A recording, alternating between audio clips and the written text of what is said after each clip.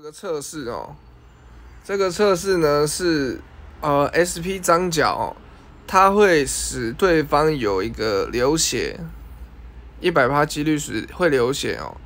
那我要想要看看说，如果我再搭配一支司马昭，它的流血技能会不会加痛？因为有一个异伤嘛。那首先是没有司马昭的哦，给张角跟黄盖上了一个流血，那看一下黄盖流血后会多少哦。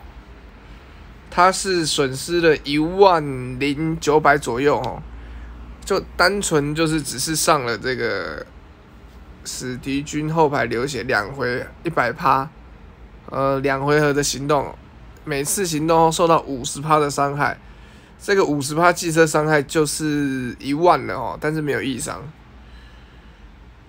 基本上他马上就死了。好，那再换下一个。好，那这一次的话呢，是有加司马昭的异伤的哦。刚刚的话是一零九零零左右的伤害哦。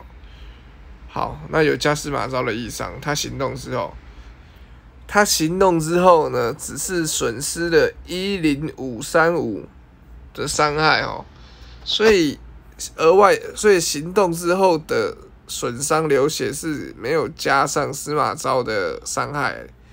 因为像这个司马昭的伤害，他说会使目标跟自身都陷入异伤，增加伤害四十八趴。照理来说，加四十八趴，刚刚原本一万加四十八趴，应该要再加个变成一万五吧？但实际上是没有的哦。这个我也不知道为什么，有点奇怪。不过我的张角其实是一样的哦，一六二六六。哦，那这边的张角也是一六二六六哦，我没有换哦，就是当场马上来测试的哦，所以异伤是没有任何的差别的，也是很令人怪异的地方。